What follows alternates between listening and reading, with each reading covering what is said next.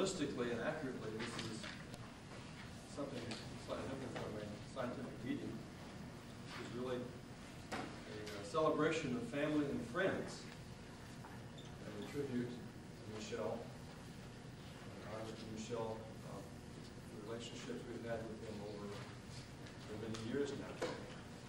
And uh, Dan Saskowski and I want to welcome everyone and thank everyone for their eagerness not willingness, eagerness to participate, and contribute, to be here. And I'm even more delighted to see many familiar faces that I hadn't expected. Glad to see you all here participate, to join in in this uh, grand occasion. I have just a couple of, of uh, program changes to announce. Uh, Because of some unusual travel constraints. Um, Gabor Somorjai uh, asked me if I could please re- reschedule this talk, which I gladly did, so that this morning's program will be a little bit different. Today's program will be a little different. DeMore will give his at 11 o'clock this morning, followed by Al Vannice at 11:40. And this afternoon, the first talk in the afternoon will be given by Jim Dumesic at 1.40, followed by Henry Topsøe at two o'clock. Those are the program changes. Overall, times don't change, but details do. I'd like to make you aware that this proceeding is being videotaped. Uh, I'm not sure everyone was contacted about this, but if anyone has any difficulty with that, you're going to all sensitive material or material you'd rather not be duplicated anywhere else for other reasons. um, Just let uh, Kate know back there, and I'm sure he will shut off the camera, put his hand in front of it at the appropriate moment, uh, if you so desire. So, it's really my pleasure to be able to start off these proceedings. Uh, It was easy to arrange because I arranged the program, and uh, I am delighted to do so. It's almost now three decades to the day that I finished my PhD work at Berkeley. I really didn't quite realize that until I started thinking about this over the weekend. Uh, 30 years ago this month, uh, I actually moved the equipment I had used in my PhD work down here to Stanford and stored it in some tunnel under one of the Stauffer buildings, existing Stauffer buildings.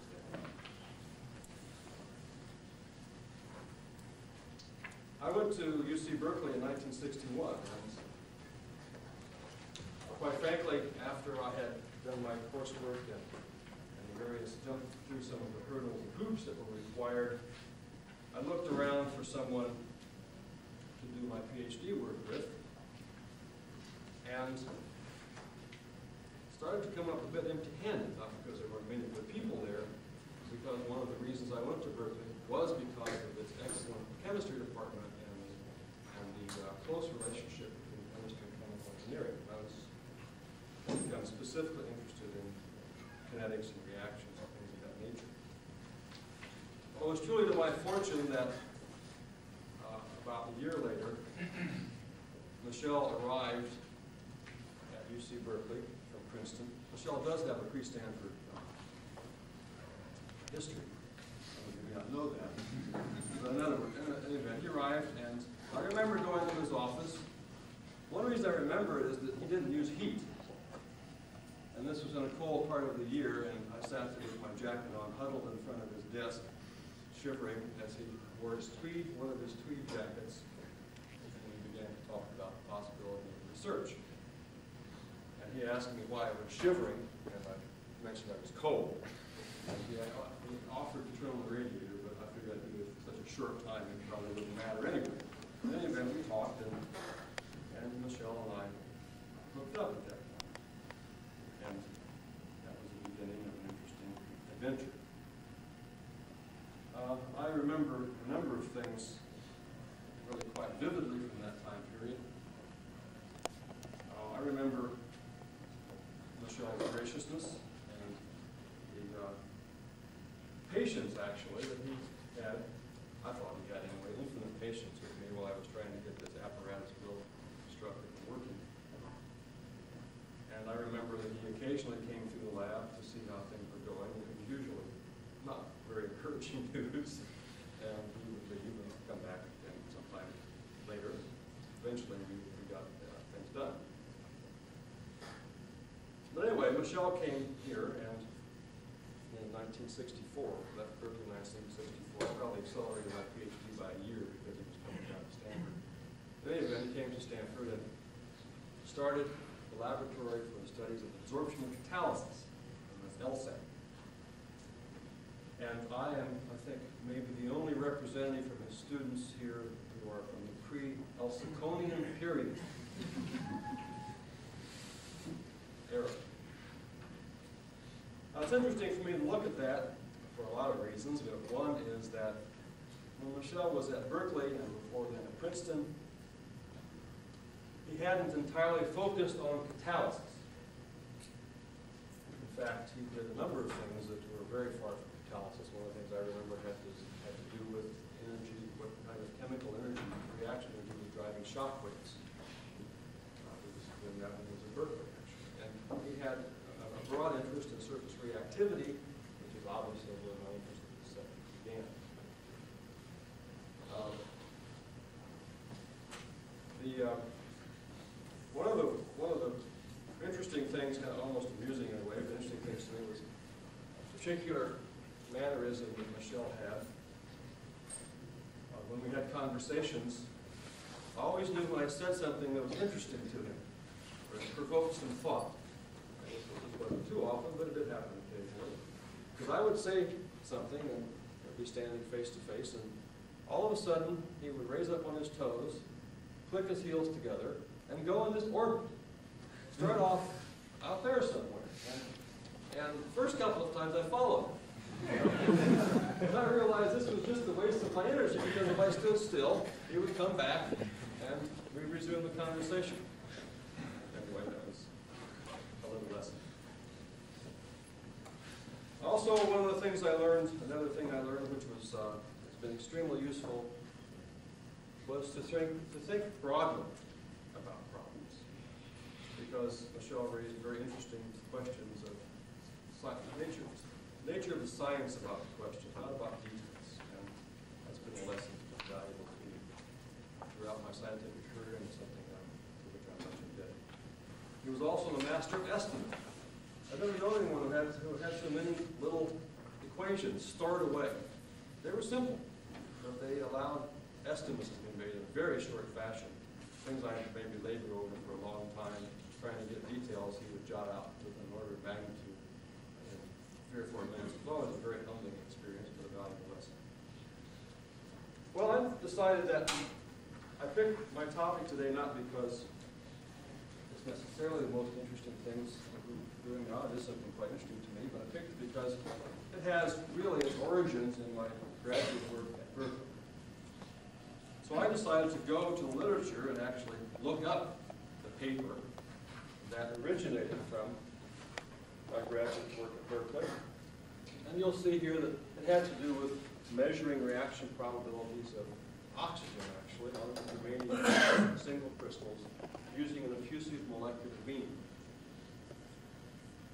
Now, this wasn't in itself a sort of hallmark breakthrough experiment. It was a continuation of work Michel had begun in Princeton with a couple of other graduate students, Ron Andres and Jim Anderson, and his collaborator there, John Fenn. And the purpose here really was to gain some control over the, uh, looking back at it now, and, and with a lot of hindsight, gain control over the internal states and the average translation energy of the O2 molecule striking the surface. To see how that might affect the reactivity of these molecules. So it really was a primitive and early dynamics.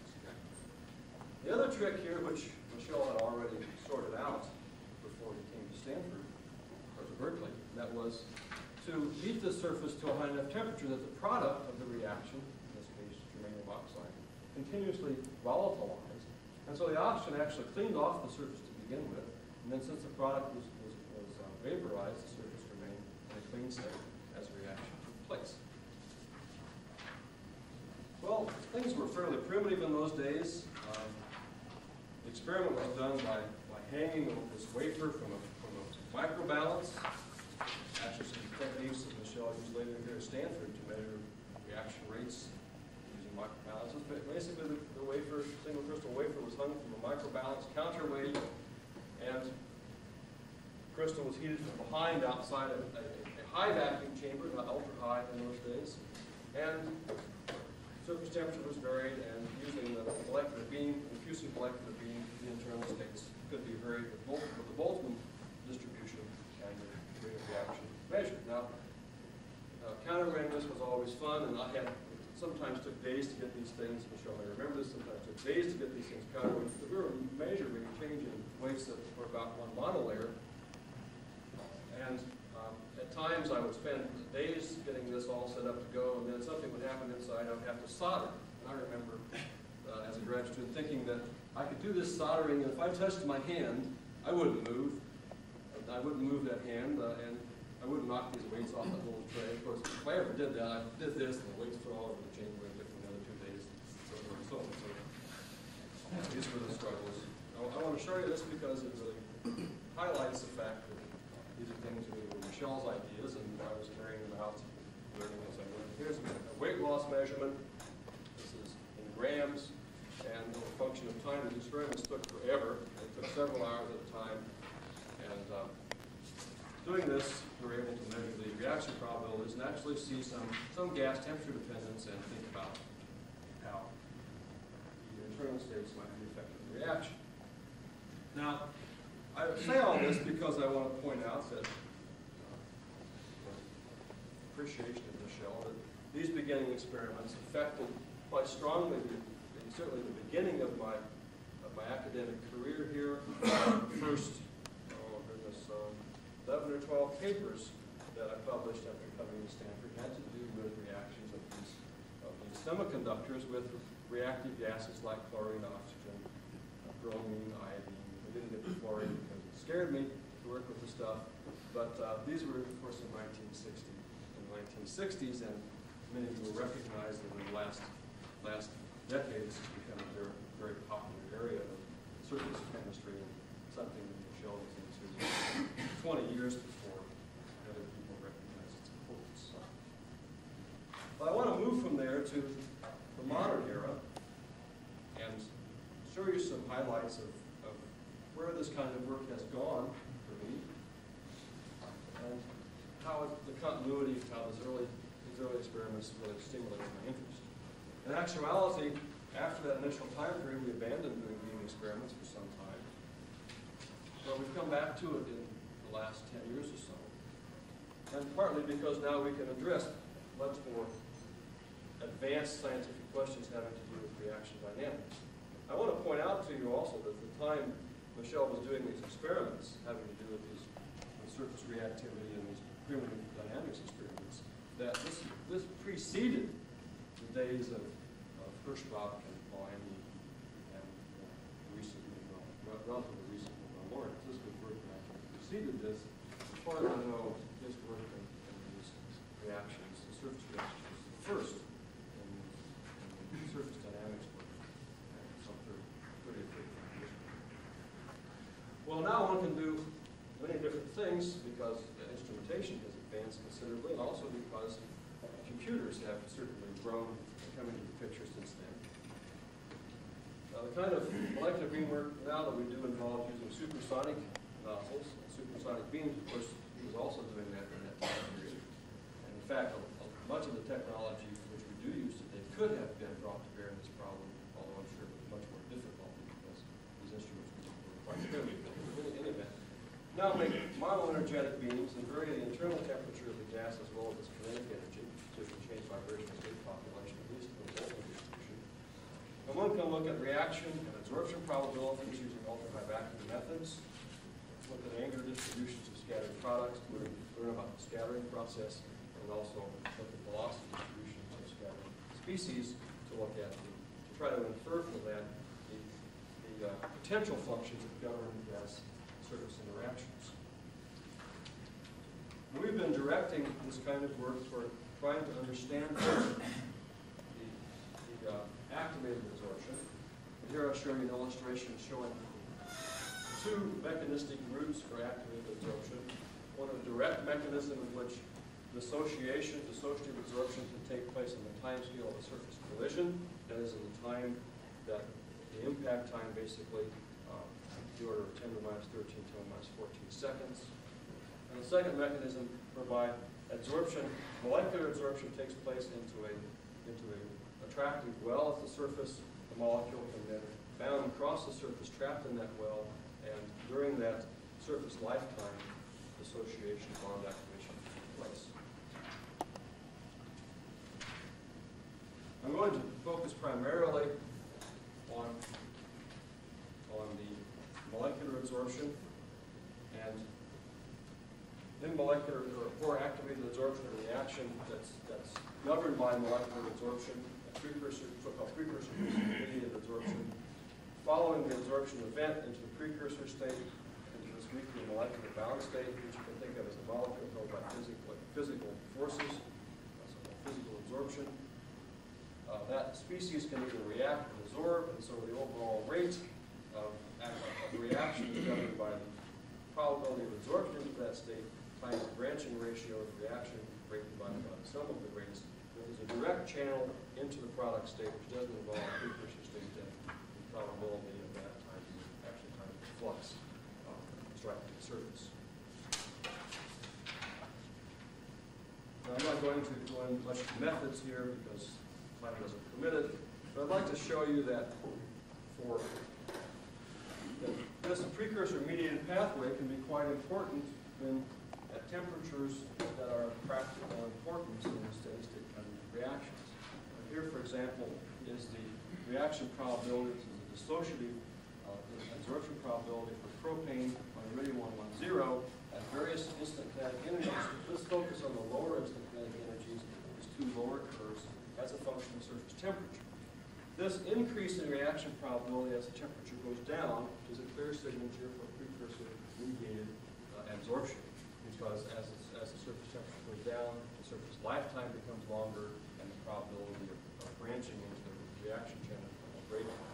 And you can see that this, that this influence is felt, this precursor mediated influence is felt certainly out to around 600 degrees Kelvin and perhaps higher. And Stephanie Suman has recently shown that in fact it looks like this limiting behavior here is not a direct channel, but in fact is the limiting value of the precursor mediated channel, that is dictated by the ratio of three exponential factors of temperature. And so it looks like, in fact, the precursor mediated event is dominating this process even up to very high temperatures. Well, this is something that is not necessarily expected because of extremely short lifetimes when gets when you get out of control. Now, as a result of the importance of this precursor mediated pathway, we started to look at the dynamics of molecular adsorption. And here I show you what might, what was expected on the basis of simple one-dimensional momentum transfer uh, theories, namely the molecule coming in will transfer only normal momentum to the surface and conserve tangential momentum. These theories um, arose in the late 60s, early 70s, are obviously quite dated, uh, and they were based on some very simple momentum and energy considerations that predicted that the trapping probability, should- or adsorption probability should increase with increasing angle at a fixed energy, angle being measured from the normal, and that the reaction probabilities, trapping probabilities should scale monotonically as the total incident energy far from the surface times the square of the cosine of the angle incidence. And it has been shown now for several systems, I'll show you right there on platinum 111, that this so-called normal energy cosine squared scaling does not apply to, to uh, molecular adsorption. And in fact, the, here we have for a variety of incident energies and angles, a scaling with, which is nearly independent of the angle of incidence. So, so the, adsorption probability depends on incident energy, but is nearly independent of the angle of incidence. Now, this is what most of you would assume if you want to the rate of adsorption, some adsorption probability alpha. You don't think about it necessarily being a function of the angle of incidence when you estimate adsorption rates. And it turns out that for, for molecules, diatomics already, that that's not a bad assumption. Now, one of the things that's new in this business is that we can do, we can do molecular dynamic simulations. And this is obviously because of the extremely high power of desktop computers, workstations that are available now, and we've undergone this in the past couple of years. I'm going to show you results taking uh, ethane and platinum 111, that the experimental data I just showed you. These simulations are done using a three-layer thick slab, six by six, and coupling this slab to the to the bulk um, solid by using friction and random forces at the boundary. These are stochastic trajectory calculations where we average over um, impact sites and then use classical mechanics to to uh, describe the, the process. We're using a, a, a Morse pairwise potential, which I'll show you here. We can evaluate the well depth for this potential using the heat of adsorption of the molecule, which we measure, and then we adjust the R0 and sigma to within reasonable ranges to fit the empirical potential to reproduce experimental data. And that can be done quite accurately. Here's the experimental data, and there are the, the stochastic trajectory simulations that you can see by right on top of the thing. That's fine. This is definitely an approach that will give one semi-empirical potentials. The question is then, how reliable and useful are the potential parameters one gets from an approach like this? Can, can they be used to predict anything else? James Stinnett, who is sitting up there and has been doing this work, uh, has then applied these, these, this potential to see if he could predict the trapping probabilities, the adsorption probabilities of ethane on the platinum 110 surface, which has a very different structure, a much rougher surface structure. And in fact, see if they could if they could be predicted along this direction, which is the which we call the smooth azimuth, and along the direction perpendicular to these ridges called the rough direction, using exactly the same potential parameters. If you can do that, that would give you confidence that you can actually use this potential to describe much more complex situations, for example, supporting metal crystallines of reasonable size. Here's the actual data that we obtained, obtained by uh, Mark Master and Sven Schroeder. Here's the 111 data I showed you previously. Here's data for the 110 along the smooth azimuth. You see that the adsorption probability is higher, already reflecting the rougher corrugation of that surface. And here are the results of James' calculation. This is now the predicted values for adsorption along the smooth azimuth, right on the line. And It gives us confidence that this potential function are useful and can be used for predictions. Now, there's an interesting feature to this particular system, and that is that along the rough azimuth, along the smooth azimuth, the adsorption probabilities are kind of differently in angle. And here I'll show you the experiment versus, versus the simulations, the predictions, I think, is fair enough fair to say. Along the smooth azimuth, we get the absolute magnitudes quite, quite well, and also the trend and the dependence of the adsorption probability on the instant angle at a fixed energy. Along the, you see that's going up, along the rough azimuth, if you get just the opposite behavior, it goes down. And again, you see really nice agreement between the absolute values and the trend due to the change in the, due to the surface roughness. Now, it's also possible, when you believe in the potential, it's possible to go in and look in more detail at the, at the trajectories. Didn't believe in the potential, looking at the trajectories would just be followed. Looking at something you can't measure yet. You're looking at detail that can't actually be measured. But I want to show you a couple of trajectories. Here's a, here's a trajectory that's scattered from, from the surface. Ethane scattering from platinum 111, that it doesn't fall into the, below zero, doesn't fall into the well ultimately. But you can see that an instant molecule strikes the surface. When it strikes the surface, here we have the total energy of, of the system. Here we have rotation, energy and rotation of the molecule, and here we have energy that goes into, it's parallel momentum, or like parallel energy. You can see that on the first collision, there is excitation of rotational energy. There's a net, in the, there's a net loss in total energy, so there's phonon excitation. The little blip here, I'm sorry, this is rotation, a little blip on the rotational energy, this is parallel energy. A little blip on the rotation. This is just a torque on the molecule, it's, it's very short, short it's 100 femtoseconds. And then there's a little rotational excitation here. These undulations are actually the molecule passing over the surface and experiencing rotational, uh, if you like, torques as it moves through the potential field of the surface. There's a second collision, again, there's a torque on the molecule, there's a, there's an acceleration parallel to the surface, loses more energy, but then it scatters, bounces off, and doesn't stay uh, adsorbed to the surface. And you can see there was a conversion of parallel energy into surface. So bingo, knocked off the surface. Here's an example of a trajectory that results in adsorption. This is on the smooth azimuth of the 110 surface. Very complex looking thing. But look overall that's what, at what's happening every time the molecule experiences a close collision, every time it hits a repulsive wall with the surface, it loses energy to phonons and essentially cascades its way downward, ultimately into the adsorbed state, into the bound, being bound in the well. And every time it does one of these close collisions, there are torques that are represented by sharp spikes in the rotational energy, and there are accelerations represented by, by sharp increases in parallel, in the energy parallel to the surface. At one point, the molecule uh, hovers for a long period of time just above the surface. There's very little rotation, rotational energy or parallel kinetic energy. It's basically almost an orbiting type collision, if you like, thinking of uh, gas phase two body collisions. It orbits around, and then it's, it's after that collision that it falls into the well and cascades down into the adsorbed state. So we can gain insight into the processes that occur once we have a potential at, at confidence.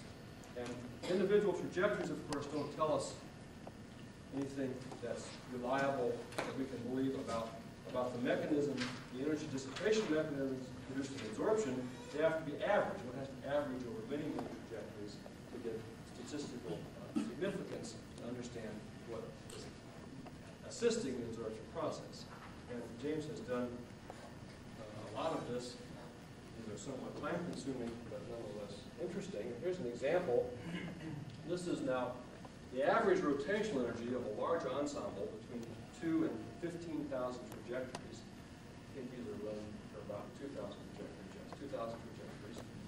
Average rotational energies, and all I want to point out here is that here we have the number of bounces. This is the first bounce. and You can see that there's an appreciable amount of, of rotational excitation, basically of all, of all possible outcomes for species that scatter after one bounce, species that scatter after two bounces, and species that trap, there's a significant amount of rotational energy. What you'll notice is the species that trap, the blue ones here, oh, sorry, the trap ones, the magenta, one of our favorite colors, Plaid, the species that trap here have an intermediate amount of rotational energy. And this is because these species are, are generally cartwheeling across the surface. If they have too much rotational energy, they will just kick back off again. They'll get chatter, convert that rotational energy back into translation energy, and scatter off. If they have an intermediate amount, they will actually transfer some of that rotational energy to the solid and become trapped. So it acts as a temporary storage mechanism for energy process.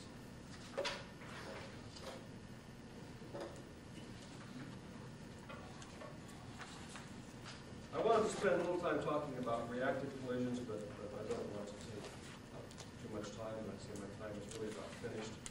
Uh, The one thing I would like to, I- I would like to point out is that at higher kinetic energies, direct channels overlap, and it's possible to measure reaction probabilities at these higher energies. Here's an example of reaction probabilities of methane and ethane as a function of, of normal kinetic energy of ET times the cosine of the angle of incidence. Don't worry about corrective, it's a detail.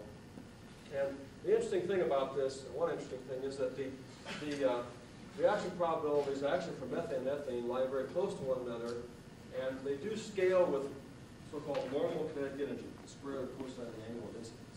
It's possible to, to represent this information by a one-dimensional tunneling model um, using an Eckart potential, which is really derived from, gas, from people using gas phase tunneling corrections. That's not really the point. I want to show you that reaction probabilities approaching one can be achieved at kinetic energies of around 140 kilojoules, and of course, these, can, these measurements can be extended down now um, several orders of magnitude. What I want to show you is that it's possible to take these values for ethane, measured on the 111 surface, and predict, quite surprisingly actually, predict the reaction probabilities of the 110 surface. This is for direct reactive collision. Here's a comparison of the data for platinum 111, platinum 110. You see for the 110 surface, the reaction probability is actually everywhere lower at all angles of incidence and kinetic energies, everywhere lower than the 111 surface. This is something that people would not have guessed commonly, higher reactivity is commonly associated with more effective or rougher surfaces, which the 110 certainly is. But if you now think about this 110 surface as a collection of microfacets, 111 microfacets, take the reaction probabilities from the 111 surface, you recognize that for, for molecules coming in perpendicular to the 110 surface, they're actually coming in at an angle of approximately 30 degrees to the 111 microfacets. You make that simple correction, it's possible to count quantitatively for, for the reaction probabilities on the 110 surface. Here are the measured values, the black circles. This solid, these lines drawn through here are assuming it's a 111 microfaceted surface, and simply using the angle of that plane makes it the plane of the 110 surface. If you, that's for the smooth azimuth, azimuth, it scales with the normal kinetic energy, think it's interesting to see that this, one can make this uh, association, look- it looks like the reaction occurs quite locally, which would expect for a direct collision, and it's sensitive to the local configuration, the local coordination, if you like, of these atoms. And these ridge atoms do not play any dominant role, they have lower coordination, show any excess reactivity compared to these microfaceted plates. The last thing I want to do, again, uh, is in, is in the sense of a tribute. I want to put a list of students on the on the screen. These are our uh, academic grandchildren of uh, Michel. They are my students. And if everyone who's participating in this meeting were to do this, uh, you would, see the enormous impact that uh, Michel has had on the field of science, surface reactivity, and catalysis. I won't read all these names, but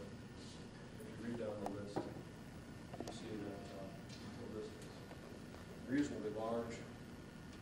The list. Jim Schwartz, Alfred Susu, Stephen Lee, John Falconer, John McCarty, Alan Rowland, Pete Johnson, Danny Mann, Ben Digger, Joe Wax, Ed Silverman, David Ying, Ed Ko, Mary Voss, Mark Barteau, Scott Jorgensen, Eric Stuve, Alan Salt, Dwayne Alka, Alex Hamza, Greg Gdowski, Paul Stevens, Mike Thornburg, Dennis Jacobs, Chris Arian Lyman, Jeff Solomon, Billy Burke, Carol Air, Anthony Westcott, Telford, Mark McMaster, John Huberty, Jackie Crew, Bill Crew, Phil Merrill, James Stinnett, um, Matthew Vasquez, Stephanie Sewell, Jason Weaver, postdocs Mike Bowker, Jim Fair, uh, Sunbo Lee, Nick Canning, uh, J.S. Lee, uh, Mark Devlin, Hans Peter Steinrück, Cindy Friend, Greg Schus, Jeff Roberts, Robert Brainerd, Deborah Jaffe on the same side. Wow. And very real sense, all these people owe uh, quite a lot to Professor who was their uh, grandfather. And I must say, it's astonishing, my own experience, to see how rapidly the academic family tree grows. You can easily become a great, great, great grandfather, much rap- more rapidly than you'd like to admit. Again, uh, my thanks and my appreciation to Michel